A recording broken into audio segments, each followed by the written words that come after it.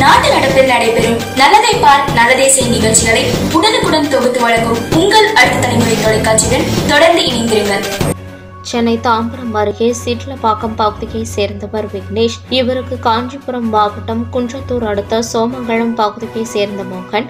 சென்னை நெற்குன்றம் பகுதியை சேர்ந்த வெங்கடேஷன் ஆகிய இருவரும் தங்களுக்கு சொந்தமான இடம் ஸ்ரீபெரும்புதூர் பகுதியில் உள்ளதாக கூறி அதை விக்னேஷிற்கு விற்பனை செய்வதற்காக ரூபாய் மூன்று புள்ளி ஐம்பது லட்சம் பணத்தை முன்பணமாக பெற்றுள்ளனர். இந்நிலையில் ஸ்ரீபெரும்புதூர் சார்பதிவாளர் அலுவலகத்திற்கு பத்திரப்பதிவு செய்ய ஆவணங்கள் கொண்டு சென்றுள்ளனர். அப்போது பத்திரப்பதிவு அலுவலகத்தில் கொண்டு வரப்பட்ட ஆவணங்கள் அனைத்தும் போலி ஆவணங்கள் என்று கண்டுபிடிக்கப்பட்டுள்ளது. மேலும் பத்திரங்கள் அனைத்தும் கலர் ஜெராக்ஸ் எடுத்துக் கொண்டுள்ளதாக தெரிய வந்தது மேலும் பத்திரங்கள் அனைத்தும் கலர் ஜெராக்ஸ் எடுத்து கொடுத்துள்ளதாக தெரிய வந்தது இதனால் சுதாரித்துக் கொண்ட விக்னேஷ் ஸ்ரீபெரும்புதூர் காவல் நிலையத்தில் புகார் அளித்துள்ளார். இதையடுத்து ஸ்ரீபெரும்புதூர் போலீசார் வழக்கு பதிவு செய்து மோகன் வெங்கடேஷன் ஆகிய இருவரையும் கைது செய்து ஸ்ரீபெரும்புதூர் நீதிமன்றத்தில் ஆஜர்படுத்தி சிறையில் அடைக்கப்பட்டனர்.